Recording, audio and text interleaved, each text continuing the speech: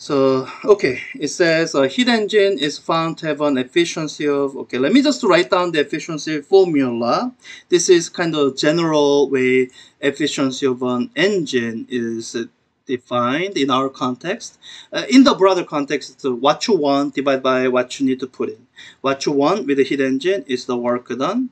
What you need to put in is the heat transfer at the high end. So that's the efficiency formula. So let's just go through that.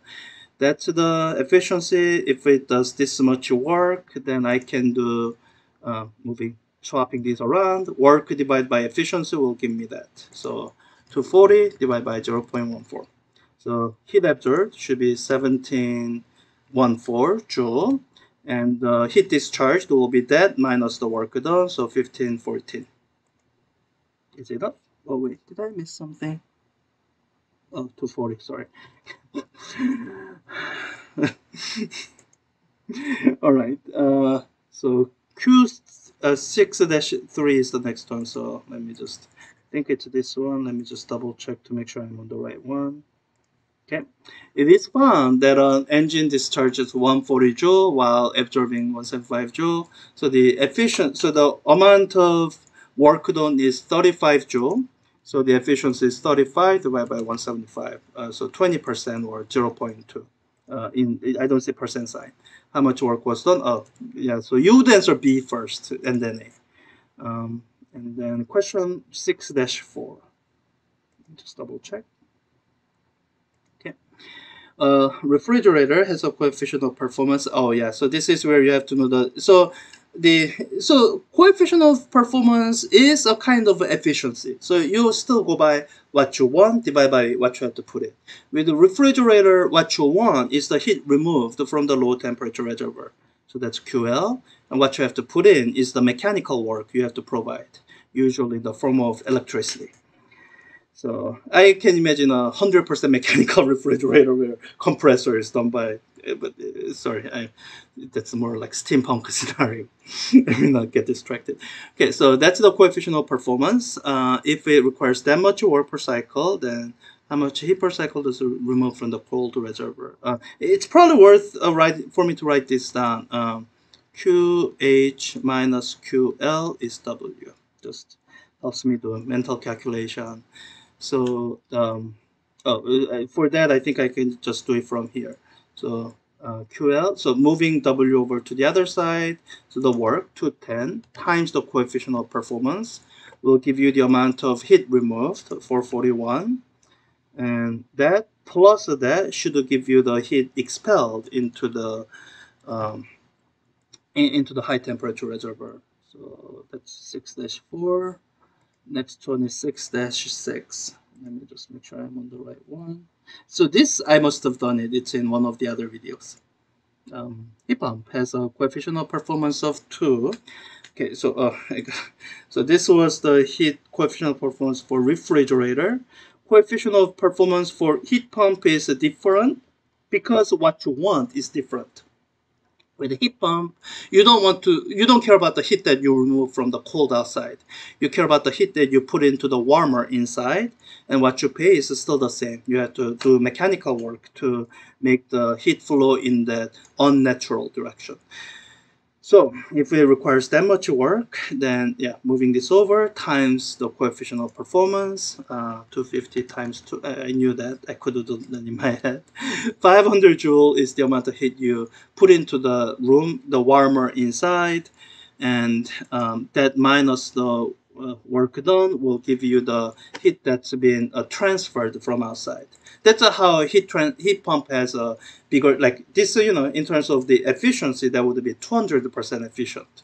And uh, that's realistic because heat pump uh, good chunk of the heat that it uses it doesn't come from it doesn't create it it transfers it it pumps it okay 6-7 that's one of the questions yeah People uh, puts in 50 joule of heat into the hot reservoir per cycle whose coefficient of performance is that so I'm looking for work. So I gotta swap these two. So uh, QH uh, 50 divided by 4.6 will give you the amount of work you have to do.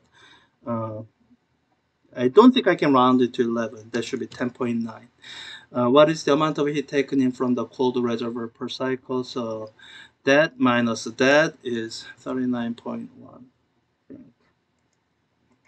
if I get it wrong, I'll just use a calculator or go slower. Uh, 6 dash 8, yeah, that's one of the questions. Performing 120 joule of work, engine discharges that much heat. Okay, we're back to heat engine. Um, so that's the uh, heat transfer at the low temperature end. So the this QH is the sum of these two, so 175 joule. So for efficiency, I do 120 joule work divided by 175, uh, 68 point or 0 0.686, 0 0.686 um, as a fraction. That's probably unreasonably efficient. Um, but moving on, we don't have a lot of time. Um, 6-9, yeah, that's one of the questions I haven't done. A Carnot heat engine operates between reservoirs that, oh, so there is, um, yeah. So, so far the formulas that we've been working with were for um, just the general heat engine. Uh, that's why I didn't have to look for Carnot engine.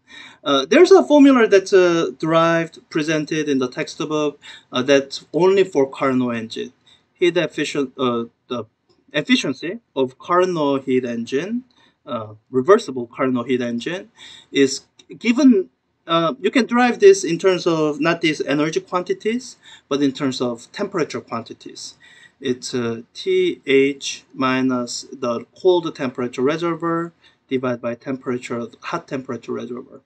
It's um, um, so so once they give you these operating temperatures, then you can calculate the efficiency. Let's do that. The difference is 286 divided by 586.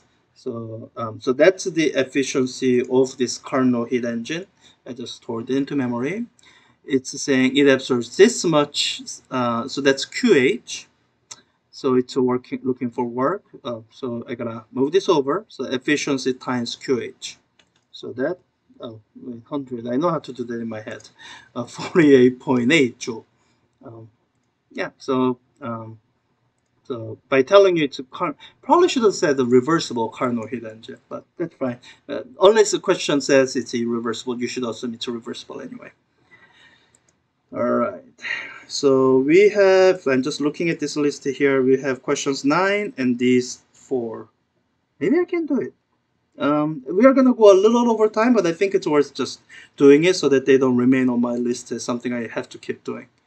Uh, yeah, so let's do it. I think I can do it. Uh, engine divide. Um, so by the way, um, when the question gives you temperatures in degrees C, convert it to um, uh, convert it to um, Kelvin because uh, all these formulas, this formula, it only works for Kelvin uh, scale, absolute scale the Celsius, Fahrenheit, neither of them are sufficient. So TC there, that is uh, 218 uh, Kelvin. Um, and T hot there is 473 Kelvin. It's probably okay, rounded up 0.15. Um, so with that, uh, if a device operates, yeah, heat engine, what is its efficiency? Um, so the difference uh, actually difference I can, could have just done with that number. Just taking this difference is easier.